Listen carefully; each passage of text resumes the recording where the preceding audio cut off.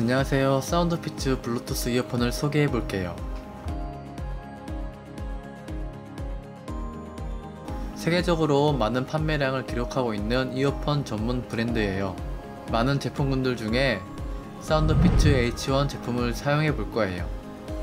사운드 피츠 H1은 하이파이 TWS 이어폰으로 퀄컴의 차세대 칩셋을 통한 블루투스 5.2를 구현해 타 이어폰에 비해 최대 50%더 오래가는 배터리 효율을 가지고 있고 저지연 active 게임 모드 탑재, IPX5 방수 등급 등 최신 기능들이 다 탑재되어 있어요.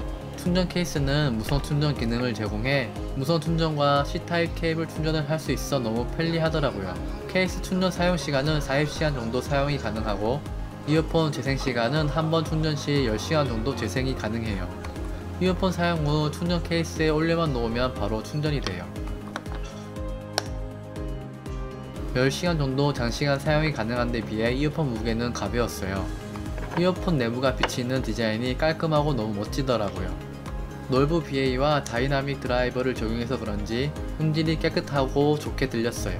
맑은 고음과 묵직한 저음이 딱 듣기 좋더라고요. 이어폰에 두 개의 듀얼 마이크가 내장되어 있어 주변 잡음 및 소음을 필터링해 상대방에게 정확한 음성을 전달할 수 있어 통화하기에도 좋았어요.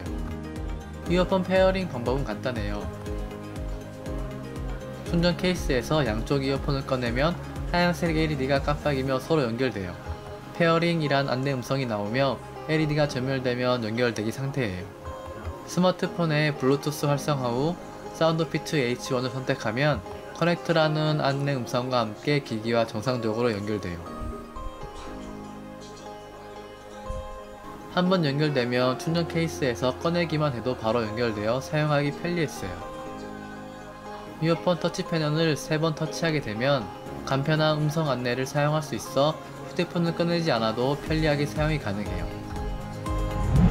Hi 빅스비 날씨 알려줘 오늘 북구 산화동은 구름이 끼고 흐리며 최저 기온은 23도, 최고 기온은 26도로 예상됩니다.